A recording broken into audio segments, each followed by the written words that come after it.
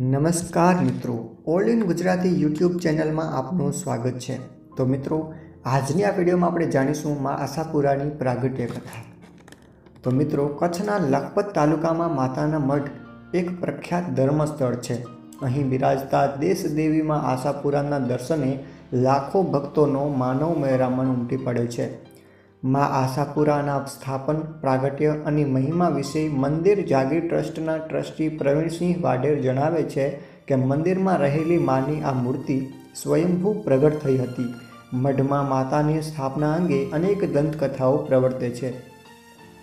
કહેવાય છે કે કચ્છની ધણિયાણીમાં આશાપુરાનું પ્રાગટ્ય દોઢ હજાર વર્ષ પહેલાં હતું.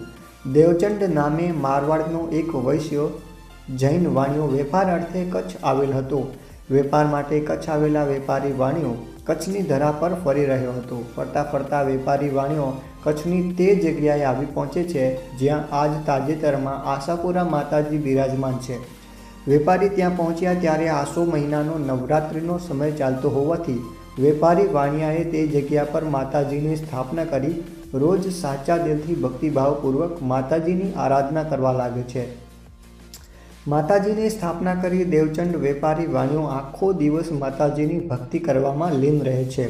માતાજી વેપારી દેવચંદ વાણિયાની ભક્તિ આરાધના જોઈ પ્રસન્ન થાય છે અને વાણિયાને સ્વપ્નમાં દર્શન આપી કહે છે કે, દીકરા, હું તારો ભક્તિભાવથી ખુશ થઈ તને દર્શન આપવા આવી છું અને જે જગ્યા પર મારી રોજ પૂજા ભક્તિ કરે છે, એ જ જગ્યા પર મારું મંદિર બનાવી મારી પૂજા ભક્તિ કરજે. પરંતુ મારું મંદિર બનાવ્યા બાદ છ મહિના સુધી મંદિરના દ્વાર ઉગાડતો નહીં. વેપારી દેવચંદ સ્વપ્નમાં માતાજીના દર્શન થતાં ખુશખુશાલ બની માતાજીના કહ્યા પ્રમાણે પોતાનું ઘર છોડી ત્યાં આવી રહેવા લાગે છે. વેપારી વાણીઓ માતાજીના કહ્યા મુજબ મંદિર બનાવી પોતે મંદિરના દ્વાર પાસે બેસી મંદિરની રખેવાળી કરવા લાગે છે. મંદિરના દ્વાર બહાર રખેવાળી કરતાં પાંચ મહિના જેટલો સમય પસાર થઈ ગયો. એક દિવસ બન્યું એવું કે વેપારી વાણિયાને મંદિરના દ્વાર પાછળ ઝાંઝર અને ગીતનો અવાજ સંભળાય છે. મંદિર અંદરથી આવતો ઝાંઝરનો મધુર અવાજ સાંભળી વેપારી વાણીઓ માતાજીએ કરેલી વાત ભૂલી મંદિરના દ્વાર ખોલી અંદર પ્રવેશ કરે છે. મંદિર અંદર પ્રવેશ કરતાની સાથે વાણિયાને અલૌકિક અહેસાસ થાય છે. માતાજીના સ્થાપના સ્થાને જુએ તો દેવી માની ભવ્ય મૂર્તિના દર્શન થાય છે. વેપારી વાણિયા માતાજી પાસે દર્શન કરવા જાય છે. ત્યાં સ્વપ્નમાં માતાજીએ કહેલી વાત યાદ આવી કે તેણે માતાજીએ આપેલા સમયના એક મહિના પહેલાં જ મંદિરના દ્વાર ખોલી દીધા છે, જેને કારણે માતાજીની અર્ધવિકસિત મૂર્તિનું નિર્માણ થયું હતું.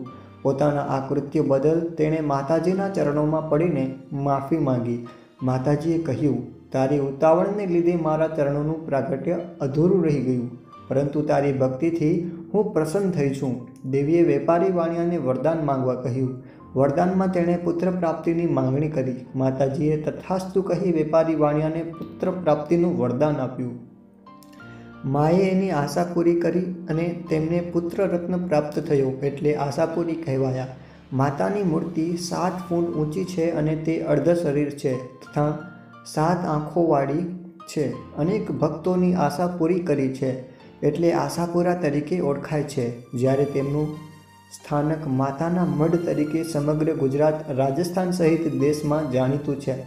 તો મિત્રો, આજની વિડીયોમાં બસ આટલું જ. ફરી મળીશું નવી વિડીયોમાં. ત્યાં સુધી માહિતી ગમી હોય તો વિડીયોને લાઇક કરી મિત્રો સાથે શેર કરજો અને ચેનલને સબસ્ક્રાઈબ કરી ઓલ નોટિફિકેશન બેલ ઓન કરો, જેથી આવનારી નવી વિડીયોની અપડેટ તમને મળતી રહે.